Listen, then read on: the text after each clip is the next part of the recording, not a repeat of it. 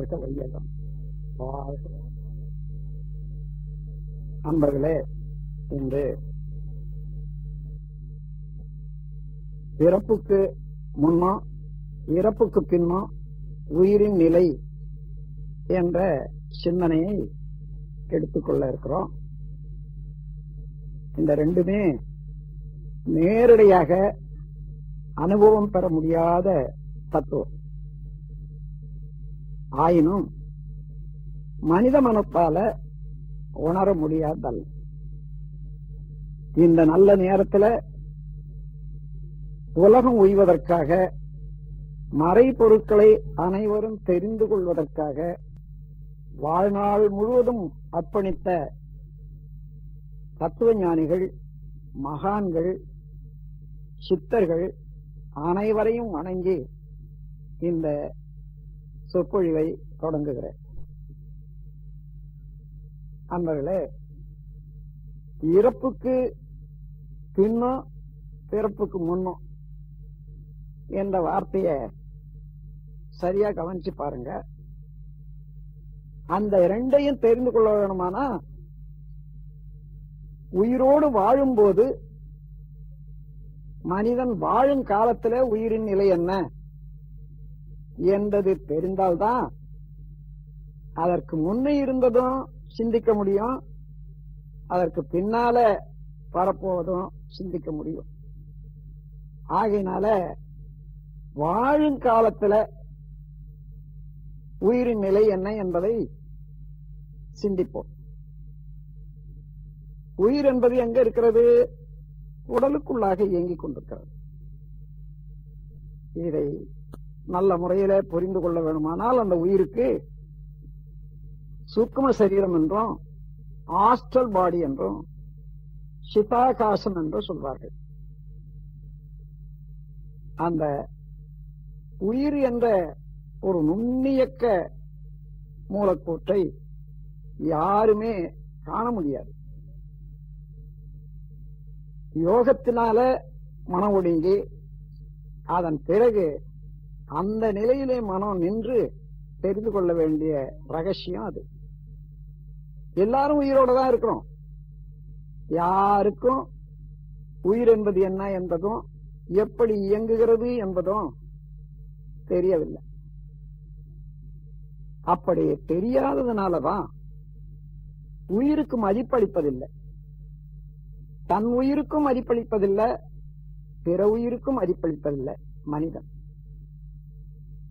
விலங்கினங்கள்லாம் மதிப்பளிப்பதில்லை என்றால் அதுல அர்த்தம் உண்டு. ஏனென்றால் புலனளவுல பருப்பொருளோட அறிவோட சரி. பசிக்கு உணவு பெறுவது வாழ்வது முடிந்து விடுவது. அந்த பசிக்கு உணவு பெறுவதில் கூட எல்லா விலங்கினங்களும் பார்த்தீங்கன்னா இன்னொரு உயிரை அப்படியே கொன்று தின்று விடுகிறது இங்கே மூன்று குற்றம் மனித மனதுக்கு இது மூன்று வகையான குற்றமாக தெரியும். ஒன்று கொலை இன்னொன்று அந்த உடலை தனக்கு உணவாக்கிக் கொள்வது திருடு. ஒரு உயிர் வாழும் சுதந்திரத்தை பறிப்பது மூன்று குற்றங்கள். அப்படி ஒரு உயிரை இன்னொரு உயிர் உண்ணும் போது இது குற்றம் என்று விலங்கினங்களுக்கு உயிரினங்களுக்கு இது குற்றம் என்று சொல்ல முடியுமா? முடியாது. ஏனென்றால் அவையெல்லாம் உணவை உற்பத்தி செய்ய தெரிந்து கொள்ளவில்லை. தெரிந்து கொள்ளவும் முடியாது. அவைகள் எந்த உணவையும் உற்பத்தி செய்ய தெரியாது. ஆகையினால இயற்கையாக கிடைக்கக்கூடிய உயிரினங்களையே உணவாக சாப்பிட்டு அவைகளெல்லாம் வாழ்ந்து கொண்டிருக்கின்றன. ஆனா மனித மனதுக்கு இது குற்றமாக தெரிகிறது. ஏனென்றால் உயிரை உணர்ந்த மனிதன்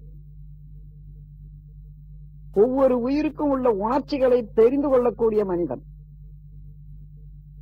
பிற உயிர் உணர்தலாக பெற்றிடும் சுகதுக்க இயல்பினை உறவு கொண்டு உள்ளத்தால் யூகித்து உணர்ந்து இறங்கி உதவும் சிறந்த திறப்பம் திருப்பம் மனிதன் உலகில் மனிதன் பெற்ற நாள் அறம் தோன்றிற்று. அது வளர்ந்து மதமாச்சு வளர்த்தோர் பெயர்களினால் பலவாயிற்று. எல்லாமே இந்த மனிதன் உணர்ச்சிகளை உணர்ந்த போது அந்த உணர்ச்சிகள் துன்பம் அடைகிற அளவுக்கு செய்வதுதான் அது குற்றம் என்றும் அது வருத்தம் என்றும் அது தவிர்க்க வேண்டும் என்றும் அதற்காகவே நீதி நெறிகளை வகுத்துக் கொண்டவன் மனிதன். மனிதனுக்குத்தான் இன்னொரு உயிரை உணவாக கொள்வது குற்றமாக தெரிகிறது. ஆனாலும் அதே மனிதன் மனித குலம். இன்று வரையில நாம் விரிந்த மனதோடு பார்ப்போம். எது நாட்டிலே ஆனாலும் பிற உயிர் வருத்தாது அல்லது கொலை செய்யாது ஊன் உண்ணாது இருக்கக்கூடிய நாடு எது என்று பார்த்தால் அப்படி ஒரு நாடு இல்லை. அப்படி ஒரு பண்பட்ட மக்கள் இனம் இல்லை. ஒவ்வொரு நாட்டிலையும் ஒவ்வொரு இனத்திலயும் இனத்திலையும் எங்கேயோ ஒருத்தர் இருக்கலாம். ஆனா பொதுவாக எல்லாரும் உயிருண்ணல் உடல் உண்ணல் என்ற பழக்கம் இயல்பாகவே இருக்கிறது. இதை எப்படி வந்தது என்று ஆராயும் போதுதான் பல ரகசியங்கள் இயற்கையிலே உள்ள ரகசியங்கள் மனித அறிவுக்கு எட்டும். அத்தகைய ரகசியங்களை அடிப்படையாக வைத்துக் கொண்டு ஆராயும் போதுதான் ஒரு வாழ்ந்து கொண்டிருக்கக்கூடிய ஒரு மனிதனுடைய உயிர் என்ன நிலையிலே இருந்தது பிறக்கு முன்னம். இறக்கு பின்ன இறந்த பிறகு என்ன நிலையிலே இருக்கும் என்பதை உணர முடியும். வாழ்கிறோம். வாழும் காலத்திலே மனிதனுடைய அனுபவம் என்ன? மனம்தானே எல்லாவற்றையும் அனுபவிக்கிறது. அந்த மனதுக்குள்ள அனுபவத்தை இன்று அனலைஸ் பண்ணுவோம். ஒவ்வொன்றாக விளக்கி விளங்கிக் கொள்வோம். இன்பம் துன்பம் அமைதி பேரின்பம். இந்த நான்கு உணர்வுகள் தான் மனிதனுக்கு உண்டு. இதற்கு மேலே என்ன? அப்போ இன்பம் துன்பம் அமைதி பேரின்பம் என்ற உணர்வுகள் எவ்வாறு இந்த உடலிலே இயங்கிக் கொண்டிருக்கிறது உற்பத்தியாகின்றது எழுச்சி பெறுகின்றது என்பதை இந்த விஞ்ஞான காலத்திலே எல்லாருமே உணர்ந்து கொள்ள வேண்டும். நான் விளக்கி சொன்னாலும் கூட அது ஒரு சிறு குறிப்பாகவே தான் உங்களுக்கு கிடைக்கும். அந்த குறிப்பை வைத்துக்கொண்டு நீங்கள் தான் ஆராயும் உடல் இருக்கிறதே இது பருவுடல் பல கோடி செல்களால அணு அடுக்காக கட்டப்பட்டு இயங்கிக் கொண்டிருக்கிறது பருவுடல் பிசிக்கல் பாடி இந்த உடலுக்குள்ளாக நுண்ணுடல் என்று ஒன்று உண்டு. அதைதான் சூக்கும சரீரம் என்று சொல்வார்கள். ஆங்கிலத்திலே ஹாஸ்டல் பாடி என்று சொல்வார்கள். அதற்கு மேலாக இன்னும் நுண்மையானது மறைபொருளாகவே இருக்கக்கூடியது. காசல் பாடி என்று சொல்வார்கள். அதுதான் காந்த ஆற்றல்.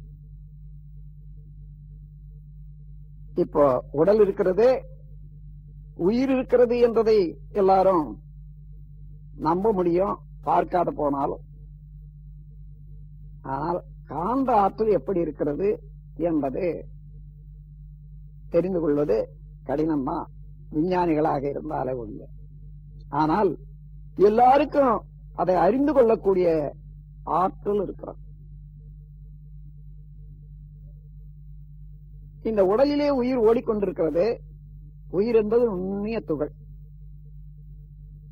அது எந்த அளவு இருக்கும் என்பதை சித்தர்கள் தவத்தின் ஆழத்திலே ஆராய்ந்து கண்டுபிடித்திருக்கிறார். அளவு சொல்கிறார் ஒரு பசுவின் ரோமத்தை நூறு கூறிட்டு ஒரு கூறு எடுத்துக்கொள்ளுங்க. அதன் பிறகு அந்த ஒரு கூரை ஆயிரம் கூறாக ஆக்கணும் சிதைக்கணும். அப்ப எவ்வளவு வரும்? அதாவது ஒரு லட்சத்தில ஒரு பகுதி.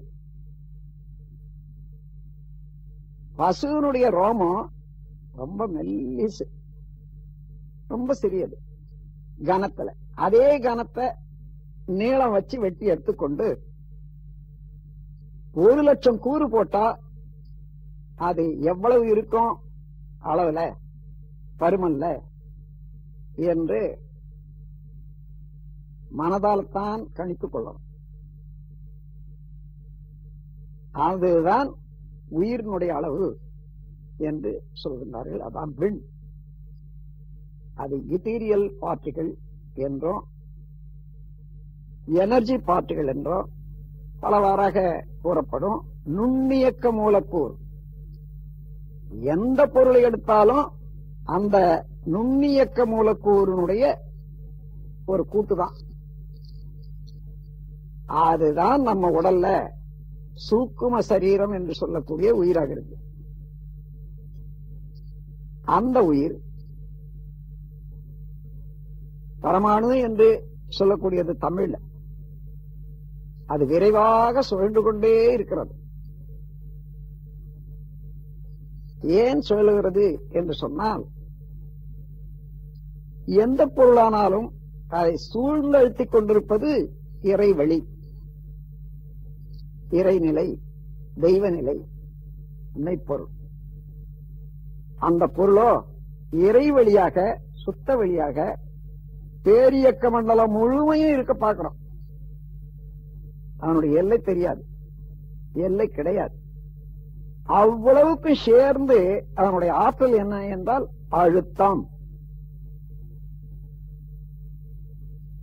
அந்த அழுத்தம் அந்த அழுத்தத்தையே ஒரு இயக்கமாக தோன்றும் போது முறையாக இயங்கச் செய்வது கான்சியஸ்னஸ் அல்லது அறிவு. வே அழுத்தத்தை வேகம் என்று சொல்வார்கள். இதை ஒழுங்காற்றலை விவேகம் என்று சொல்வார்கள். அப்ப வேகம் விவேகம். இந்த இரண்டு அடக்கமாக பெற்று எல்லையற்ற பருமனுடையது. எதுவோ அதுதான் பூரணம் என்று சொல்லப்படுகிறது. பூரணம் என்றால் எல்லாம் அடங்கியது. காலத்தால அந்த இடத்தால அதுல இருக்கக்கூடிய ஒவ்வொரு இயக்கம் தோன்றும். சிறக்கம். அதெல்லாம் சிறப்பு தான் இருப்பு நிலையிலே எல்லாம் இருக்கிறது. சிறப்பு நிலையில தான் எல்லாம் தோன்றுகிறது. அப்படி எல்லையற்ற பரவெளியாக உள்ள பரம்பொருள்ல இறைவெளியில அழுத்தம் என்பது ஒன்று இருட்டிலே நிழல் போன்று அது அடங்கி இருக்கிறது அந்த அழுத்தமானது திணிவு பெறும்போது சுற்றிலும் உள்ள இந்த இறைவழியாலே அழுத்தப்படுவதனால அது விரைவு கொண்டு அலையாக மாறி சுழல ஆரம்பிக்கிறது. சுற்றழுத்தத்தினாலே சூழ்ந்தழுத்தத்தினாலே. அதுதான் மின் என்றும் அணு என்றும் பரமாணு என்றும் சொல்லுவோம். அந்த விண் சுழற்சி எங்கே சுழண்டு கொண்டிருக்கிறது? இறைவெளி என்னும் இருப்பு நிலையிலே சுழலுகிறது. இந்த இது அணு சுழலுகிறது.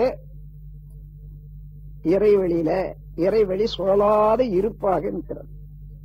இந்த சுழற்சிக்கும் நிலைக்கும் ஒரு உரசல் ஆங்கிலத்திலே பிரிக்ஷன் என்று சொல்வார். அவ்வாறு உரசல் ஏற்படும் போது அதிலிருந்து பல அலைகள் உண்டாகிறது.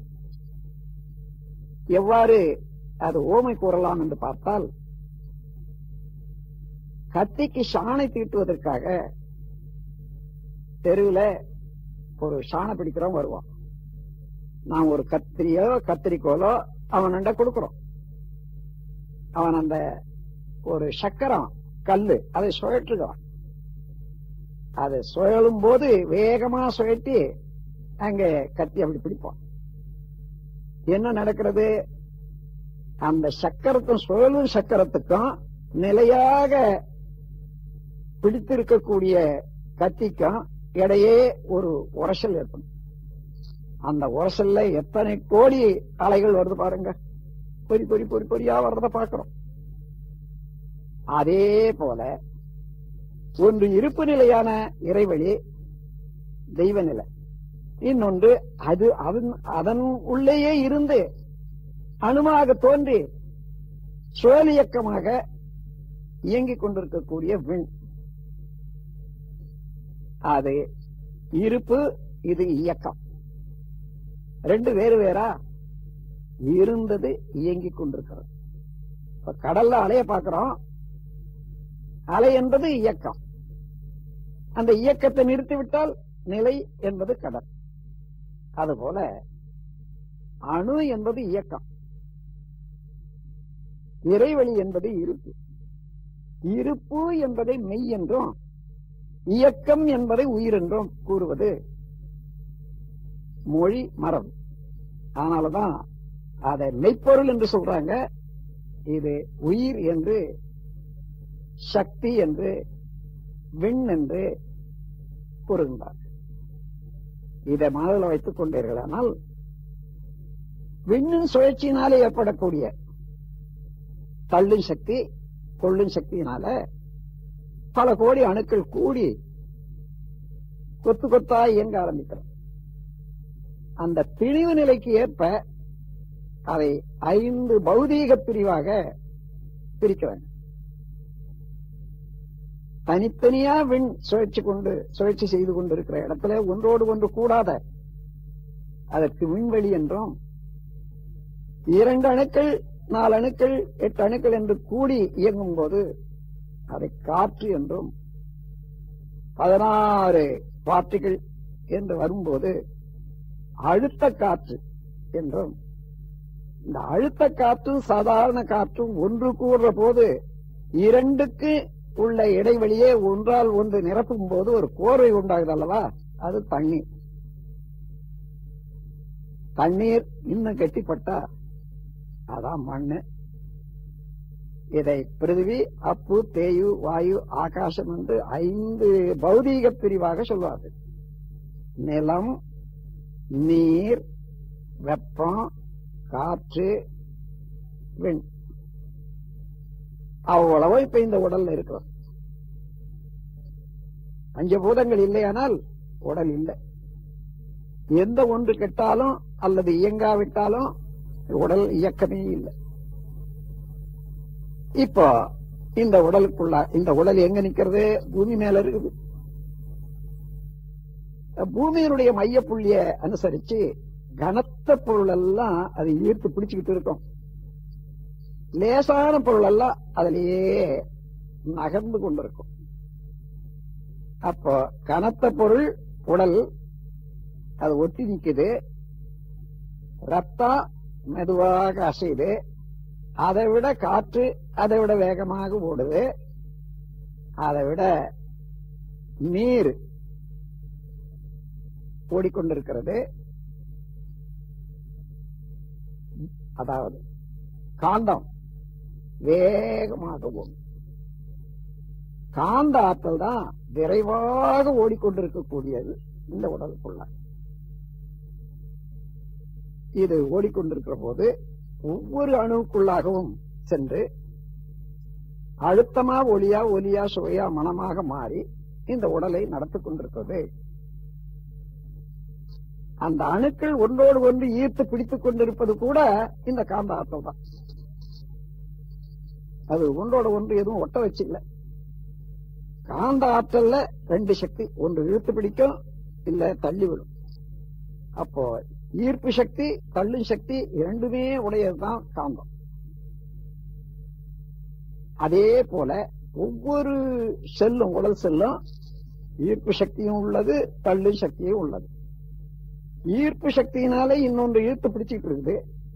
தள்ளு சக்தியினால இன்னொன்றை விட்டு ஒரு அளவுல விலகி நிக்குது. இப்படியே உடல் இயக்கம் நடக்கிறது.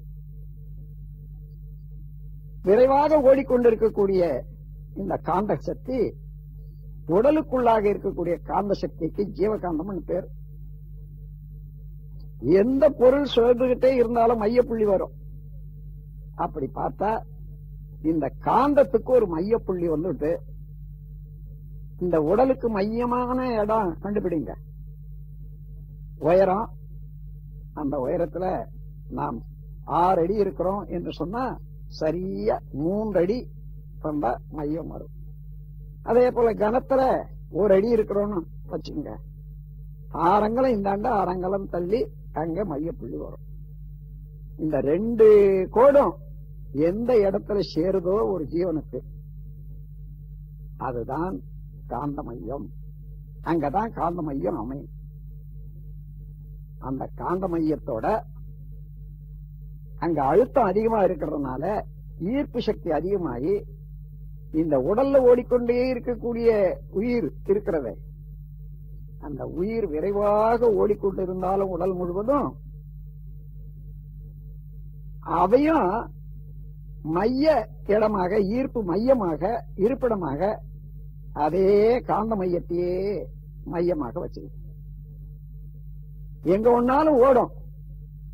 ஓடி சுழன்று மெதுவா வர வர வர வர நடுமையம் வரும். உற்பத்தி ஆகிற போது வேகமாக ஓடிக்கொண்டே இருக்கும். அதன் பிறகு கொஞ்சம் கொஞ்சமா குறைஞ்சு நடுமையம் வரும். அதன் பிறகு அங்க இருந்து அது விரைவு கூடும்போது தானாகவே மின் குறுக்காகி வெளியே ஓடிடும். உணவுல இருந்து பிரியக்கூடிய அந்த உயிராற்றல் ஒவ்வொரு நாளும் எத்தனையோ கோடி உயிர் சக்தி அந்த பரமாணு உடல்ல கூடிக்கொண்டே இருக்கும். உடலை விட்டு பிரிந்து கொண்டே இருக்கும். மத்தியில இருப்பு இருக்குத அதுதான் நம்ம உடல்ல உயிராக இருக்கிறது. இதற்கு உதாரணம் கூற வேண்டுமானால் ஆறு ஓடிக்கொண்டிருக்கிறது ஆற்றிலே தண்ணி.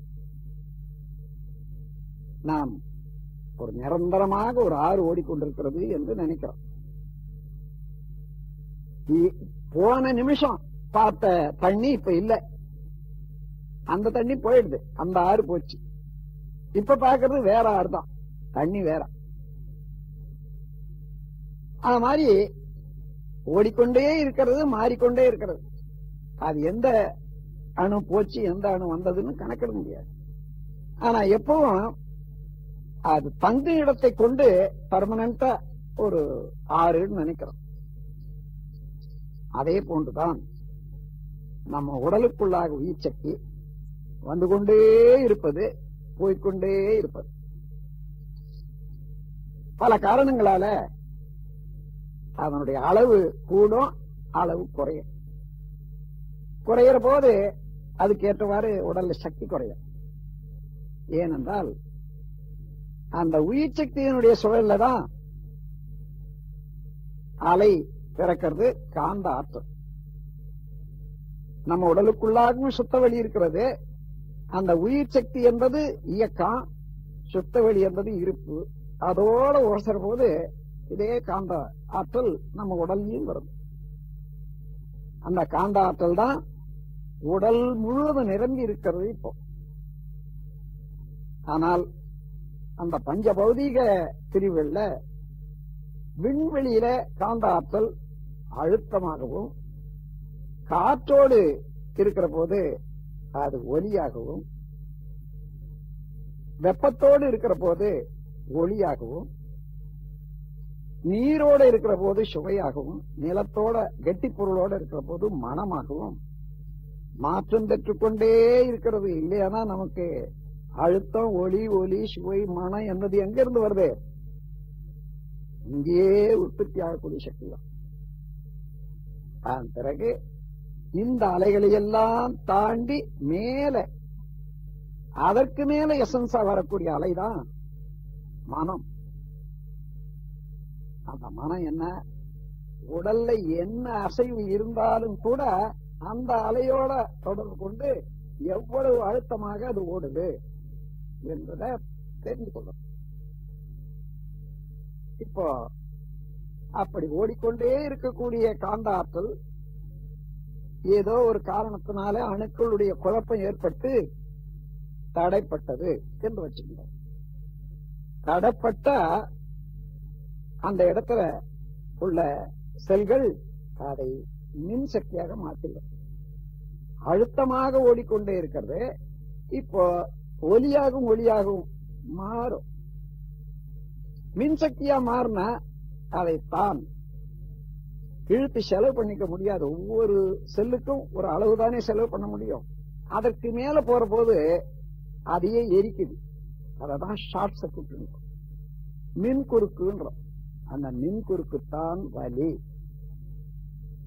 எந்த இடத்துல உடல்ல வலி வந்தாலும் நோய் அதாவது ஒரு பெயின் என்றது வந்தாலும்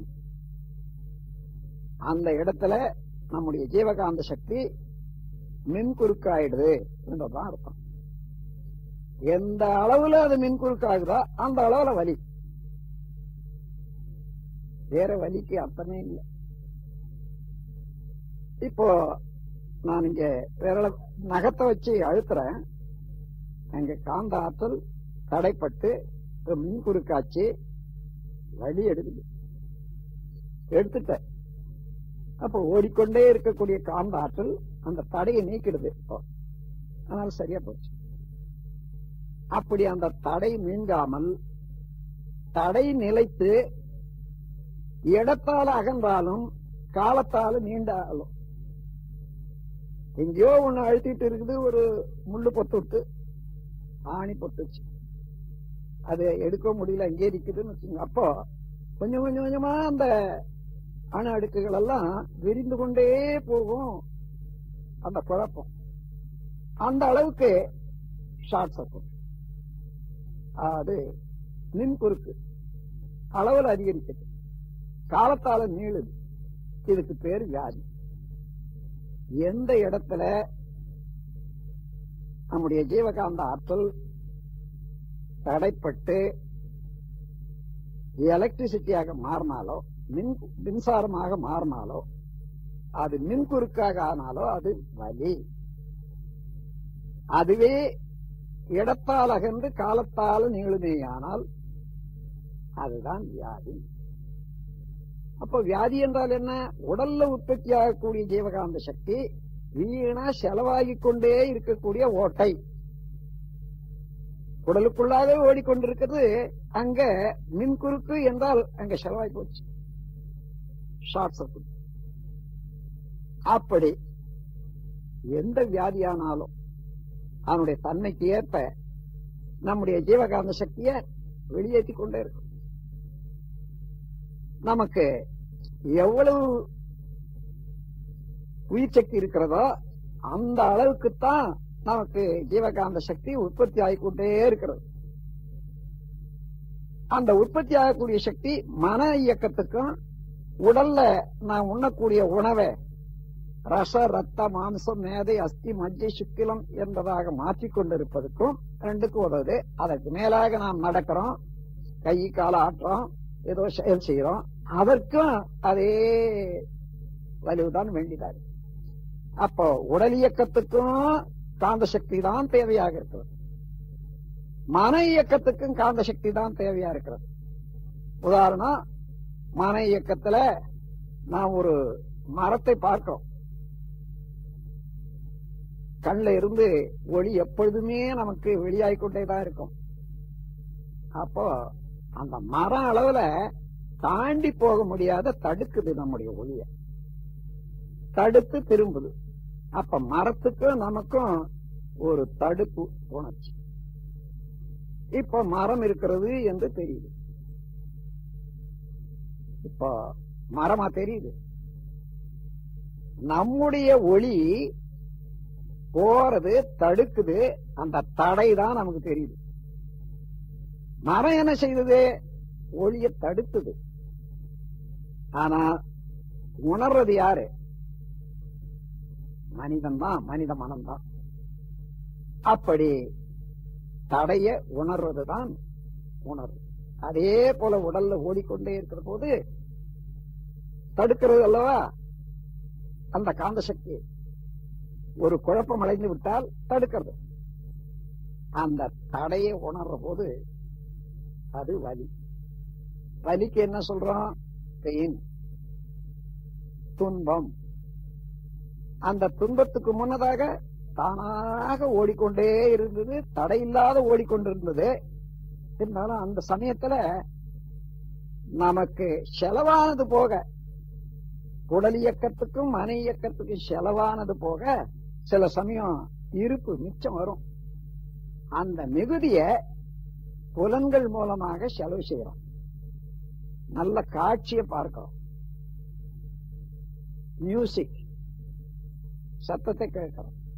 இப்படி கேட்கிற போது அளவோட நம்முடைய ஜீவகாந்த சக்திய காதின் மூலமாகவோ கண்ணின் மூலமாகவோ இன்னும் முகர்ற போது மூக்கின் மூலமாகவோ தொடு உணர்வு மூலமாகவோ செலவாகும் அப்படி சப்ளஸ் இருப்பாக இருக்கிறது திணிவு பெற்றிருக்கக்கூடிய காந்த சக்தி முறையாக அந்தந்த புலன்கள் மூலமாக வெளியே வெளியேறும் போது அதுல ஒரு ரிலாக்ஸேஷன் அந்த இறுக்கம் தணிகிறது அல்லவா? தளர்ச்சி அடைகிறது அல்லவா? அந்த ரிலாக்ஸேஷன் தான் இன்பம் சொல்றோம். அப்ப இன்பம் என்றால் என்ன? நம்முடைய ஜீவகாந்த சக்தி இந்த நிலையில உயிர் சக்தி என்ற விண் எங்க ஓடும்? இந்த உடலுக்குள்ளாதானே ஓடிக்கொண்டிருக்கோம். அது ஓடுறதுக்கே ஒரு இடம் வேணும் ஒரு தளம் வேணும் அது ஜீவகாந்த சக்தி இருந்தாதான் ஓடும். அந்த ஜீவகாந்த சக்தி குறையிற போது ஓட்டம் குறையா இருக்கும். அந்த உயிரோட்டமே குறைஞ்சு விடும். அப்ப என்ன நிகழ்வு என்று பாருங்க. நம்ம உடல்ல ரத்தம் ஓடிக்கொண்டிருக்கிறது. அந்த ரத்தத்துல ஒவ்வொரு அணுவிலையும் ஆற்றல் இருக்கு. உடலுக்கு ஆக்கத்தை தரக்கூடிய ஆற்றல் இருக்கிறது அது ஓடி சுழன்று உடலுக்குள்ளாக பாய்ந்து ஓடும்போது அந்த ஆற்றல் குறைந்து விடும். அதன் பிறகு அப்படி குறைந்த ஆற்றலுடைய அணுக்கள் எல்லாம் மீண்டும் அந்த ரத்தத்துல பின்ன பின்னோக்கி வந்து இருதயத்துல வரும். இருதயம் தான் ரத்தத்துக்கு மையம். வந்த உடனே இங்க ஆக்சிஜன் போதிய அளவுக்கு எடுத்து அந்த குறைபாடத்தை பூர்த்தி செய்து கொண்டு உத்வேகம். அதாவது மீண்டும் அதற்கு வேண்டிய வலுப்பெற்று மறுபடியும் ஓட ஆரம்பிக்கும். உடல்ல ஓடும்போது தன்னுடைய சக்தியை இழக்கிறது. மீண்டும் இழந்த சக்தியை கூட்டிக் கொள்வதற்காக மையம் வருது. அங்கே சக்தியை கூட்டிக் கொண்டது மறுபடியும் ஓடும் இதே போல உயிர் சக்தி என்ற நுண்ணிய துகள் உடல்ல உயிராக இயங்கிக் கொண்டிருக்கிறது. அதுல இருக்கக்கூடிய காந்த அலை அந்த சக்தி சரியாக இயங்குற வரைக்கும் முறையாக ஓடிக்கொண்டிருக்கிறது. ஆனா அது செலவாய் போச்சு. அதுக்கு மேல சுழல் குறையுது வேகம் உற்பத்தி இல்லை. அதற்கு வேகம் கொடுக்கக்கூடியது என்ன? உடல்ல கருமையம் என்று சொல்லக்கூடிய வித்து நாளம் விந்து கமலத்துல வந்தாதான் ஒரு தோய்வு பெற்று மறுபடியும் அது உயிர்ப்பு பெற முடியும். எப்படி ரத்தம் வந்து இருதயத்துல வந்த பிறகு சுத்தம் அடைகிறதோ அதே போல உயிர் சக்தி மூலாதாரத்துல கருமையத்துல வந்த பிறகுதான் அதுல தோய்வு பெற்று சுத்தமா சாதாரணமாக உயிர் சக்தி உயிர் சக்தி என்றுதான் கூறுகிறோம். ஆனால் வித்துல தோய்வு பெற்று வரக்கூடிய உயிர் சக்திக்கு எக்டோபிளாசம் என்று ஆங்கிலத்தில் சொல்வார்கள். தேஜஸ் என்றும் ஓஜஸ் என்றும் சொல்வார்கள். தமிழ்ல அதே வார்த்தை தான் வருது ஓஜஸ் என்று சொல்லும் அம்மாதிரியாக இந்த உடல் இயக்கத்துல எந்த காரணத்தினாலேயோ அல்லது நீண்ட கால வியாதியினால அல்லது முதுமையினால முதுமையினாலன்னா விந்துவனுடைய உற்பத்தி குறையும். ஒரே வயசு ஆக ஆக ஆக. அந்த விந்து உற்பத்திக்கு தக்கவாறு உயிர் சக்தி உற்பத்தியும் குறையும். உயிர் சக்தி உற்பத்தி குறைஞ்சா தானாகவே காந்த ஆற்றல் குறைஞ்சிடும். அப்போ உடலுக்கு போதிய ஆற்றல் காந்த ஆற்றல் இருக்காது. உறுப்புகள் செயலுக்கு வரும். வியாதியினாலேயும் வரலாம். ஒரு திடீர்னு ஒரு ஆக்சிடென்ட் ஆச்சு. ரத்தம் போயிடுது. அங்கே காந்தாற்றல் நிற்க முடியாது. எல்லாம் போச்சு. எப்ப என்ன ஆகும்? உடல்ல உயிர் ஓடி எல்லா இயக்கங்களும் நடைபெற முடியவில்லை. கருமையத்தை நோக்கி போகக்கூடிய உயிர் சக்தி நூறு உள்ள அங்க போனா பத்து வெளியே வருது அஞ்சு வெளியே வருது ஏன்னா அங்க அழுத்தம் இல்லை. அப்படி வர்ற போது வரவே முடியாத அங்கே தேக்கம் அடைஞ்சு போகுது. அங்க ஏற்க ஏற்க ஏற்பட்ட உயிராற்றலினுடைய நெருக்கம் அங்கேயே காந்த சக்தி அதிகமாகி அங்கேயே மின் மின்குறுக்கு ஆன உடனே அந்த நாளங்கள் எல்லாம் உடஞ்சி போகும். டியூப்ஸ் டெட்டிரேஷன் அந்த குழல்கள் இயக்கம் அந்த நரம்புகள் எல்லாம் போன உடனே என்ன? கருமையத்துல உயிர் சக்தி இருக்கிறது விந்து அல்லது நாதம் இருக்கிறது காந்த சக்தி இருக்கிறது. இப்ப காந்தம் பஸ்ட் ஆகி போச்சு. மின்சக்தியாக மாறி வெளியாகி போச்சு. அதனால அந்த இடமே குலைந்து போச்சு. கருமையும் குறைந்து போச்சுன்னு சொன்னா வித்து உடைந்து வெளியேறிவிடும். ஆணானாலும் பெண்ணானாலும். வித்து உடைந்து வெளியேறி விட்டால் உயிர் அதை ஒட்டித்தானே உயிர் இருக்கும். எவ்வளவு உடல்ல உயிர் விந்து சக்தி இருக்கிறதோ அந்த விந்து சக்தி தான் உயிர் சக்தியை பாதுகாக்க முடியும். வித்து குறைய குறைய உயிர் சக்தி குறையும். அதுல உள்ள தத்துவம் என்ன என்றால் இந்த உடல்ல உள்ள எல்லா பொருளுக்கும் உயிர் சக்தி தான் லேசானது. கனத்த பொருள் எல்லாம் கீழ் நோக்கி நிற்குது. லேசான பொருள் எல்லாம் மேல் நோக்கி ஓடுது. உயிர் சக்தி தான் லேசான பொருள். அப்படி எப்பொழுதுமே மேல ஓடி உடலை விட்டு ஓடாத ஓரளவுல இழுத்து பிடித்து இந்த உடலுக்கு தேவையான உயிரை நிலைக்க வைக்கிறதுக்கு விந்து சக்தி வேணும். விந்து சக்தியே தான் விந்து சக்தி எவ்வளவு இருக்கிறதோ அந்த அளவெல்லாம் உயிர் சக்தி நிலைக்கும்.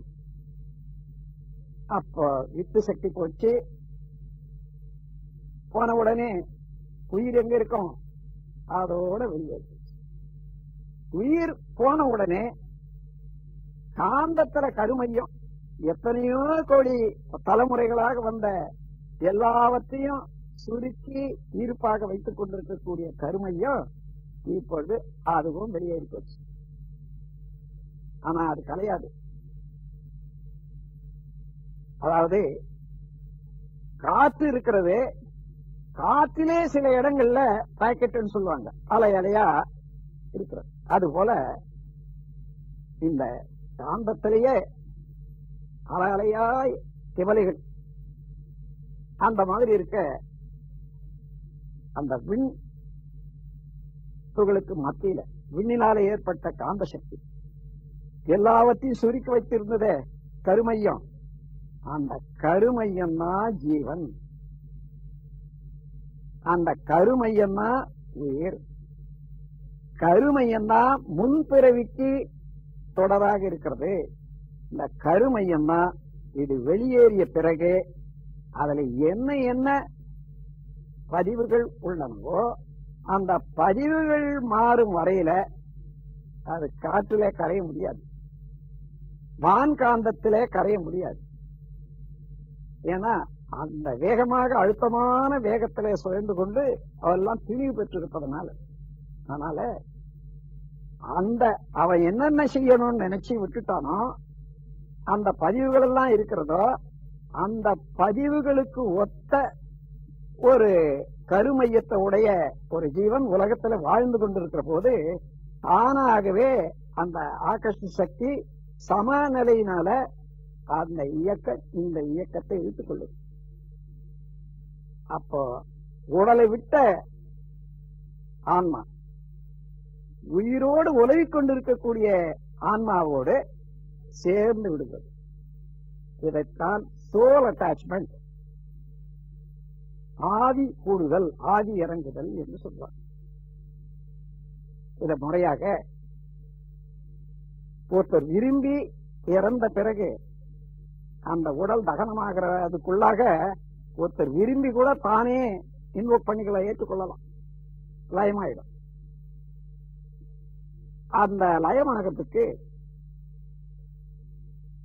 ரத்த தொடர்பு உள்ள மகன் மகள் பேரன் பேத்தி அண்ணன் தம்பி அப்பா பிள்ளை.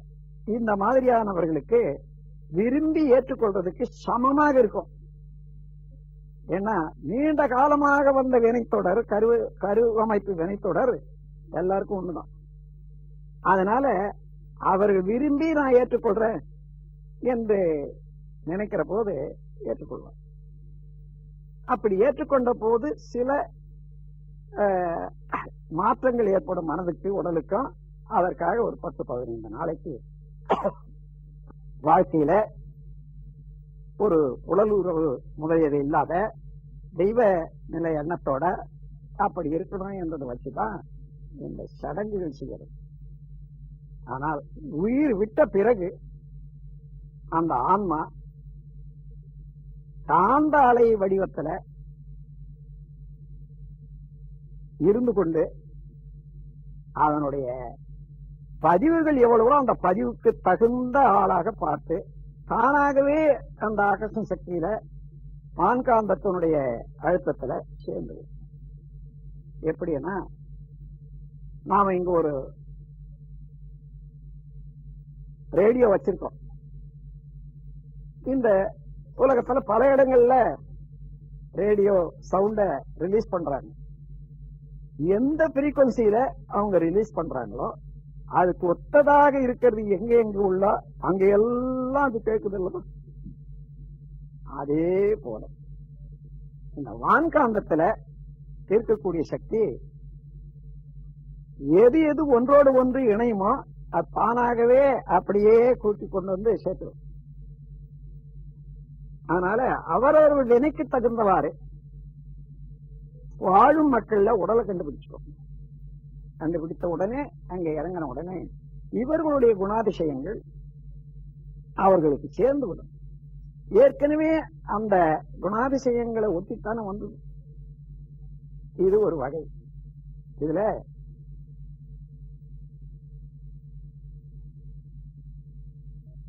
முதுமையினால நீண்ட காலம் நோய்வாய்ப்பட்டு இறந்துடுறாங்கன்னு வச்சுங்க. அவங்களுக்கு உயிர் சக்தியினுடைய அழுத்தம் எவ்வளவு இருக்கும்? அந்த பார்த்தா ரொம்ப லேசதா இருக்கும். விட்டு சக்தி குறைவு அதனால உயிர் சக்தியும் குறைவுதான். அவர்கள் உயிர் விட்ட உடனே சுலபமாக இந்த நாம் யார் விரும்பினாலும் ஏற்றுக்கொள்ளலாம். ஆனா திடீர்னு ஏற்படக்கூடிய மரணம் ஆக்சிடென்ட் அல்லது தற்கொலைன்னு வச்சுக்கணும் கொஞ்சம் கூட அந்த உயிர் சக்தி குறையறவே இல்லை. அந்த தெளிவு அப்படியே இருக்கிறது. அதனால அந்த உயிர் விட்ட உடனே அந்த கருமையம் மேல அதிகமாக பூமியை விட்டு அதிகமாக போக முடியாது. அது ஏதேனும் உயிரை ஒட்டி நிற்கும். உடனே அங்கே நெருக்கமாக இருக்கிறவர்களோடையோ அல்லது ஒரு செடி கொடி அல்லது மரம் அவைகள்லயோ கொஞ்சம் தடுக்கப்பட்டு மீண்டும் அதற்கு யார் இட ஒரு இடத்துல பயப்படுறாங்க அல்லது அதிர்ச்சி அடைகிறாங்க அந்த இடத்துல அவருடைய உயிர் சக்தி விரிகிற போது அதோட சக்தி இதைதான் கோஸ்ட் என்று சொல்றாரு இதெல்லாம் வன்முறையாக இயங்கும். மனதை மாற்றிவிடும். துன்பம் கொடுக்கும்.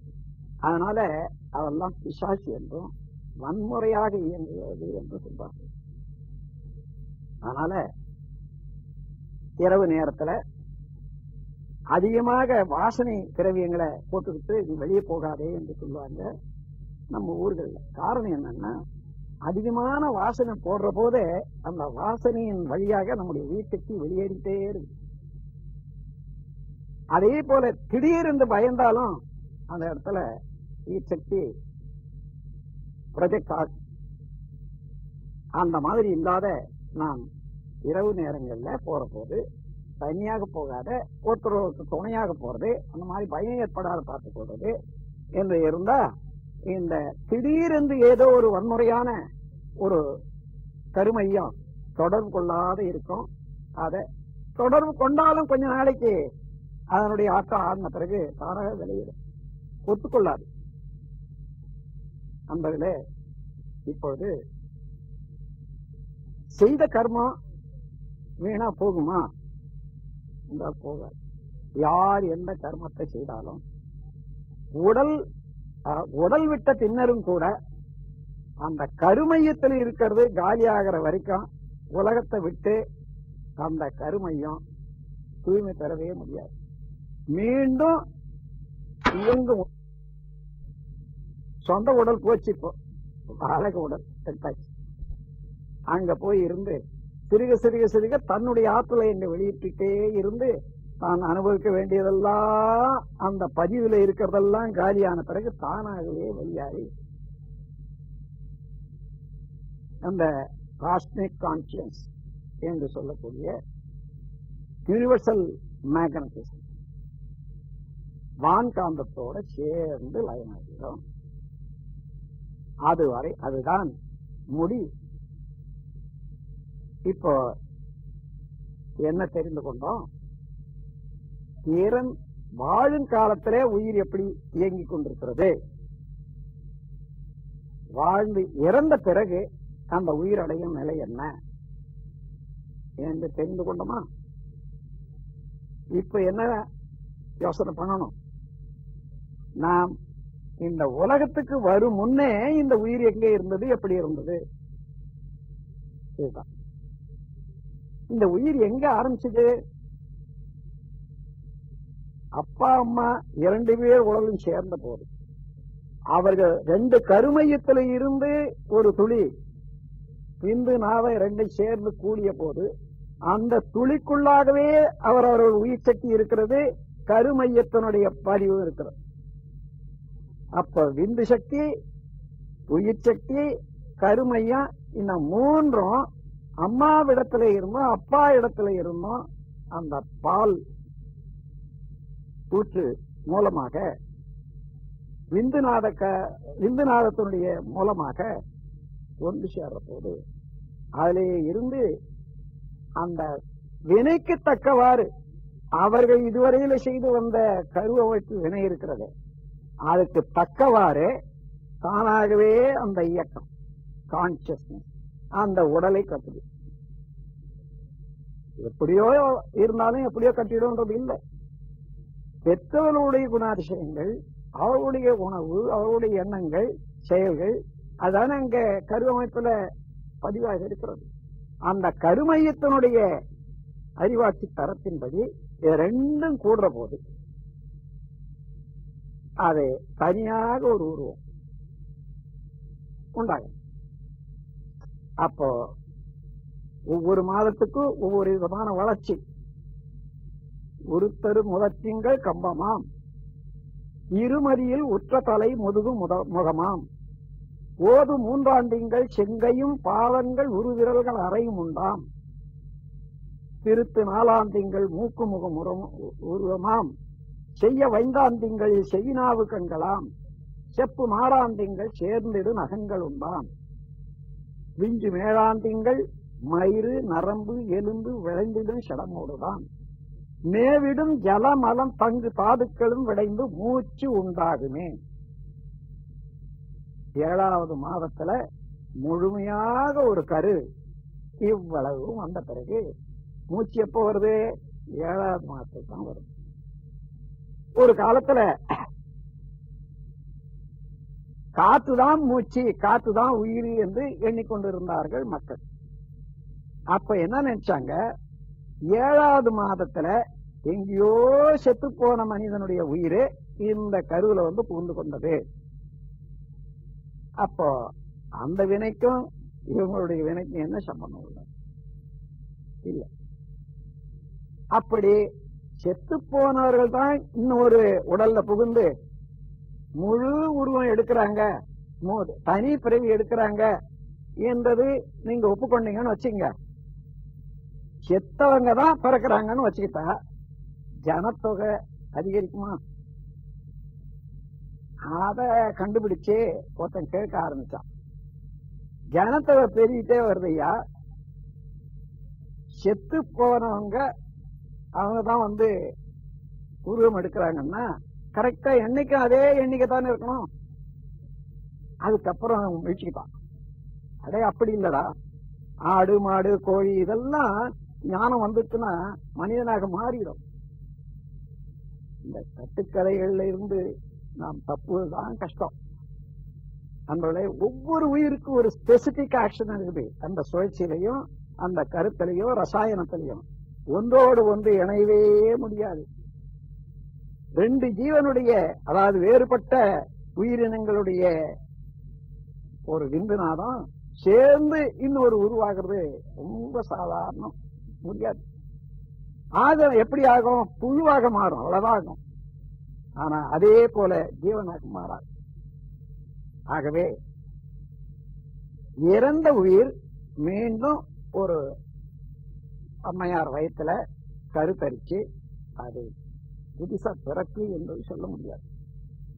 ஆனா இறைநிலையில இருந்து அணுவாகி பஞ்சபூதங்களாகி ஓரறிவாக உள்ள மரம் அந்த மரத்துல இருந்து பழம் அந்த பழத்துல கொட்டை. அந்த கொட்டையிலே மரத்தினுடைய தன்மை எல்லாம் இருக்குல்ல அது காலத்தோட விளை நீங்க போட்டு மரமாக ஆக்கல. நீங்க சும்மா வச்சிருந்தீங்கன்னா அந்த ஓரறிவு உயிரானது வேகம் கொண்டு இரண்டு அறிவு உயிராகும். உணர்ச்சி தொடு உணர்வு தான் தாவரங்களுக்கு அதனால ஓரறிவு. இப்ப தொடு உணர்வோடு நீங்க ஒரு விதைய காலத்தோட போட்டு முளைக்க செய்யல என்று சொன்னா அதிலேயே வர எழு- எழுச்சி பெறக்கூடிய உயிரானது புழுவாக வரும்.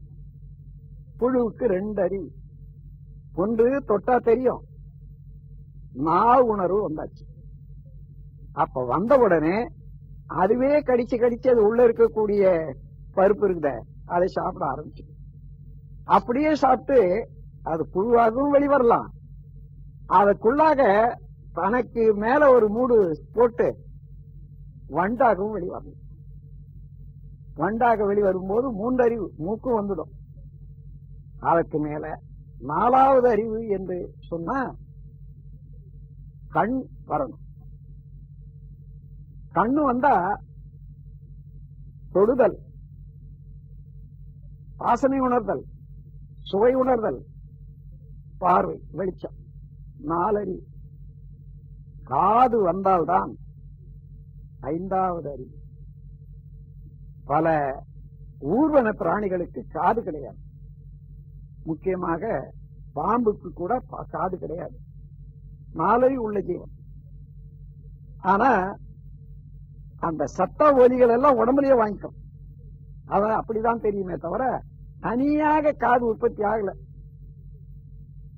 அதனால அந்த காது செய்ய வேண்டிய வேலைய கண்களே செய்கின்றன என்று கண்டுபிடிச்ச மகான்கள் பாம்புக்கு ஒரு பெயர் வச்சாங்க. கச்சவி கண்ணே செவியாக உள்ள ஒரு ஜீவன் என்று சொன்னார். அதன் பிறகு அப்படியே விலங்கினம் வந்து விலங்கினத்தில் இருந்து இரண்டு வகையான விலங்கினம் சேர்ந்து இயல்புக்கம் என்ற காரணத்தினாலே உள்ள அடங்கி இருப்பது பூரணம்.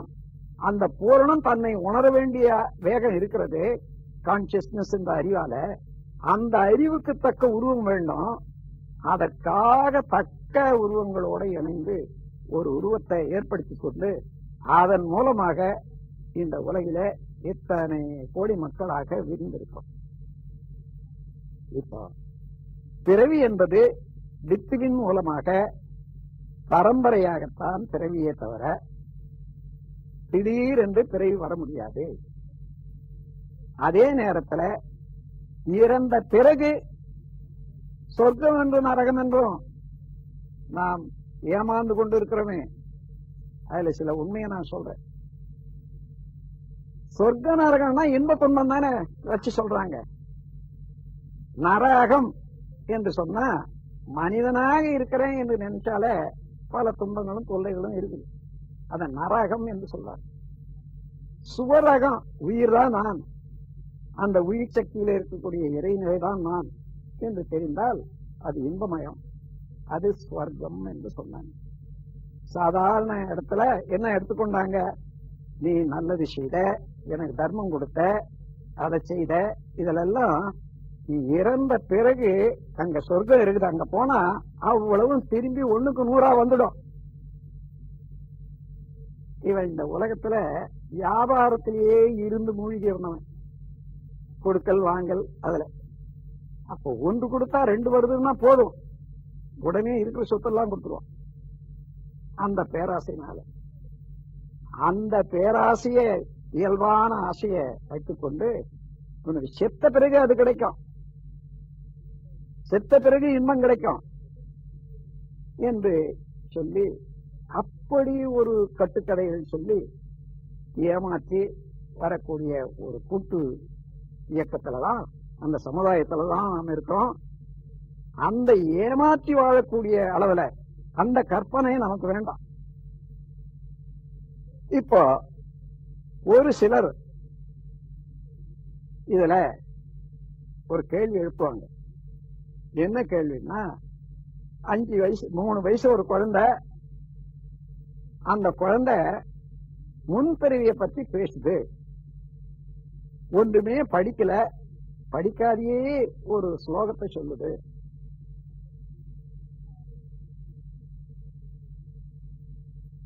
படிக்காதையே பாடுது.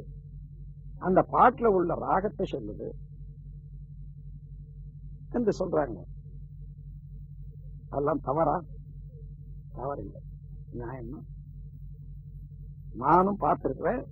என்னுடைய இந்த பிறவிக்கு முன்னும் பின்ன இந்த ஆராய்ச்சியை நூல் எழுதுற போது அத்தகைய குழந்தைகளை பார்த்திருக்கணும்.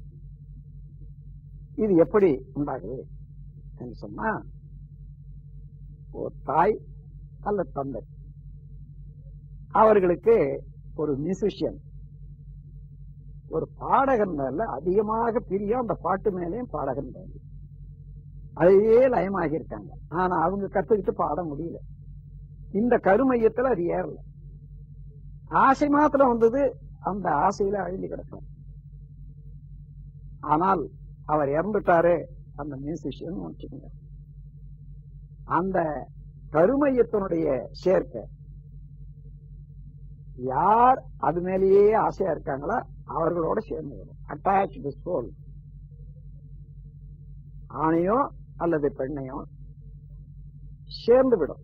ஏன்னா அந்த ஆசையின் காரணமாக பற்றுதல் காரணமாக அட்டாச்மெண்ட் வந்தாச்சு. ஆனா அது நல்ல ஒரு நோக்கமுடைய கருமையமாக இருக்குமேயானால் தூய்மையான கருமையமாக இருக்குமேயானால் அது அப்படியே அந்த தங்கக்கூடிய கருவை முழுமையாக வளர்த்து வெளியே கொண்டு வந்துடும். ஒரு வயலண்ட் போர்ஸ் ஆகிருதுன்னு வச்சுங்க அப்படி சேர்ந்தது. அந்த வயலண்ட் போர்ஸ் ஆக இருந்தா அந்த கரு வளரும் போதே நாலு மாசத்துல மூணு மாசத்துல அஞ்சு மாசத்துல காலி பண்ணிடும். முழுமையாகவே ஆக்க விடாது. வயலண்ட் போர்சஸ் ஆனா நல்ல ஆற்றலுடைய கருமையமாக இருந்தால் அவ்வளவும் வந்து வெளிவந்தாச்சு. ஆனா உள்ள அந்த மியூசிஷியனுடைய குணங்கள் ஆற்றல் இங்க அடங்கி இருக்கிறது. வெளிப்படுத்துவதற்கு மூளை வேணுமே? அந்த மூளை திறனாக ஆகிற வரைக்கும் அது அப்படியே தேங்கி நிற்கும். தேங்கி நின்ற பிறகு மூன்று வயது ஆன பிறகுதான் மூளை கட்டடம் சரியா வரும். அதன் பிறகு எங்கேயோ அந்த ராகம் பாடுறாங்க. தானாகவே அதோட லயமாகி அதுதான் இயல்பாக இருக்கும். இது இன்ன ராகம் என்று சொல்லும். அதே போல ஒரு தரம் யாரோ படிக்க கேட்குது. ஆஹ் இது இந்த செய்யுள். சொல்லு ஒரு குழந்தை ஆறு வயசுல நான் பார்த்தேன். பகவத்கீதையில பல செய்யுள சும்மா ஒப்பிக்குது அர்த்தம் கேட்டாலும் சொல்லுது. அதுக்கு ஒண்ணுமே தெரியாது. யாரும் என்ன கொடுத்தாலும் வாங்குறதே இல்லை அந்த குழந்தை. சாப்பிட கொடுக்குறாங்க வாங்குறதே இல்லை. குளிக்காத சாப்பிடாதான். ஆறு வயசு பெண் குழந்தை. நான் போய் உட்காம ஐயா இந்த மாதிரி இந்த குழந்தை இதுவரையிலும் ஒருத்தர்கிட்ட கூட ஒரு பொருள் வாங்கி சாப்பிட மாட்டேன்றா. நான் அதாவது தந்தையார் கொடுத்தா தாய் கொடுத்தாதான் சரி. நான் கொடுத்து பழக்கமான சரி. அப்போ ஒரு பழத்தை வெட்டி ஐயோ, வந்து கும்பிட்டு வாங்கி சாப்பிட ஆரம்பிச்சு ரிஷிகேஷ்ல இது நடந்தது. அப்போ அந்த கருமையத்தில் இருந்த குணாதிசயங்கள் எல்லாம் செயல்பட தொடங்கிய காலம். அப்புறம் வர வர அதுவே விரிந்து அது இயக்கத்துக்கு வர்ற போது அது ரெண்டாவது இது இப்படி கருமையத்தோட வர்றது. அது இல்லாத ஒரு மனிதன் கொலையுண்டு இறந்தா அந்த கருமையம் இன்னொரு ஆண்ட அட்டாச் ஆயிடுச்சுன்னு வச்சுங்க அதுக்கு அதிக பலம் ஜாஸ்தி. இங்க உள்ள உயிராற்றலினுடைய தன்மைய அதாவது சூப்பர் இம்போஸ் ஆயிடும். கொஞ்ச நேரம். அந்த நேரத்துல டிரான்ஸ்டேட் இவனுக்கு மன இயக்கம் செயலுக்கு போகும். அந்த சமயத்துல மயக்கமாக வந்து அந்த டிரான்ஸ்லேட்ல அதே ஆவியில என்ன என்ன அடக்கம் இருக்கிறதோ அது எல்லாம் சொல்ல ஆரம்பிக்கும். நான் இந்த ஊர்ல பிறந்தேன். என் பேர் இது என்னுடைய தந்தை பேர் இது தாய் பேர் இது. இந்த மாதிரி என்ன கொலை பண்ணிட்டாங்க இந்த மாதிரி நான் செய்தேன் இந்த மாதிரி என்னுடைய பொருளெல்லாம் இந்த இடத்துல இருந்து இன்னார் வச்சிருக்காங்கன்னு சொல்லுவேன் போய் பார்த்தா கரெக்டா அதனால அந்த இறந்த ஆளுதான் இங்க வந்து ஜென்மம் எடுத்திருக்காங்கன்றது இல்ல எங்கேயோ டேப்பு பண்ணி இங்க இருந்து ரெக்கார்டர்ல போட்டா பேசுமா பேசாதா? அந்த மாதிரி நடக்கக்கூடிய உண்டு ஆகவே இறந்தவர்கள் மீண்டும் பிறவி எடுப்பது என்பது முடியாத காரியம். இருக்கிற போதே கருத்தொடர் வழியாக பல பிறவிகள் தொடர்ந்து வந்து கொண்டே இருக்கின்றன. இறந்த பிறகு மிச்சமான பதிவுகள் வாழும் மக்களோட ரீசைக்கிள் என்று சொல்ற மாதிரி திரும்பி அதிலேயே சேர்ந்து சிறுக சிறுக சிறுக அவைகளெல்லாம் சரிப்படுத்தி சமப்படுத்தி வரக்கூடியதான் இந்த உலக இயல்பு இறைவனுடைய கருணை என்று கூறி பிறப்புக்கு முன்னும் பிறப்புக்கு பின்னாலேயும் உள்ள ரகசியத்தை சாதாரணமா உணர முடியாது. ஆனால் தவத்திலே இருந்து இறைநிலை உணர்றவர்கள் அந்த நிலையில இருந்து பார்த்தால் அந்த இருட்டுலதான் பிறவியும் உற்பத்தி ஆகுது சாவும் நடக்குது. பிறப்பும் இறப்பும் அந்த இருட்டு அறையில தான் இறைவனுடைய இருட்டு அறையில் தான் நடக்குது. அதனால சாதாரண மக்களுக்கு தெரியாது. அந்த இடத்துக்கே போனால்